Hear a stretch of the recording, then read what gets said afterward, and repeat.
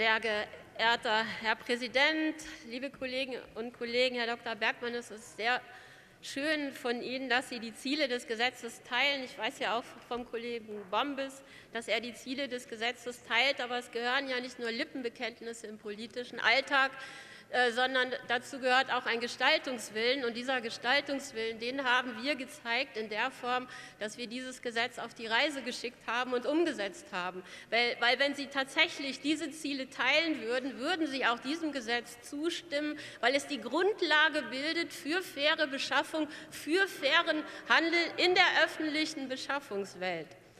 Und auch, ich finde es, ich finde es auch bezeichnend von Ihnen, dass Sie quasi ein Zitat nehmen, wo Sie einen Halbsatz äh, aus der äh, Stellungnahme bzw. Anhörung nehmen, der, der, wo Sie sich beziehen auf die, die, Vertreter der Stadt Dortmund, weil es war nämlich an, an, diesem Beispiel sehr, sehr eklatant, dass im Grunde genommen Vertretungen, Vertretungen, die in Anspruch nehmen, die gesamten Mitglieder zu vertreten, ob es jetzt die Städtevertretungen sind oder ob es Unternehmensvertretungen sind. Im, Grund, Im Grunde genommen gibt es sozusagen nicht die Ableitung, dass dass dort, mit einer, dass dort alles im Grunde genommen durch diese Meinung gesettelt ist, weil es war klar herauszuhören, dass gerade die Stadt Dortmund äh, sagt, wir haben schon immer nach diesen Grundsätzen gelebt und dieses Gesetz ist eine Grund, gute Grundlage, weiterhin unsere Ziele, die wir als Kommune haben, äh, weiterhin auch umzusetzen.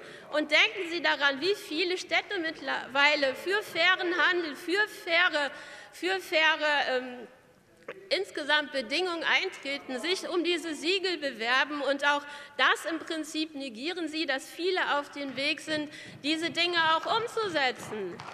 Ja?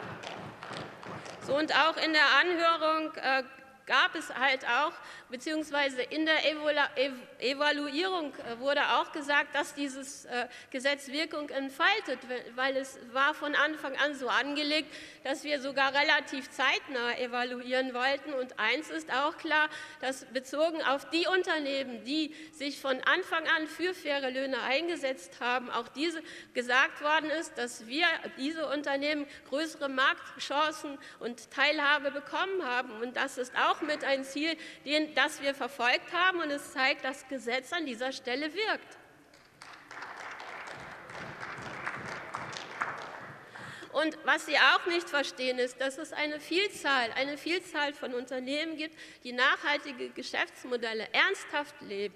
Und schauen Sie sich diese junge Start-up-Szene an, wie viele gute Ideen diese Leute haben. Und es geht um Nachhaltigkeit, es geht um Mehrwert für diese Gesellschaft. Ja, und auch dafür braucht es eine Grundlage und dieses, dieses Gesetz, im Grunde genommen, dieses Gesetz schafft diese Grundlage, ja, weil wir diese Unternehmensziele dieser Unternehmen teilen. Ja, und wir, sind, und wir sind auch davon überzeugt, dass die Veränderungen, die wir an diesem Gesetz vorgenommen haben, äh, die Handhabbarkeit verbessern.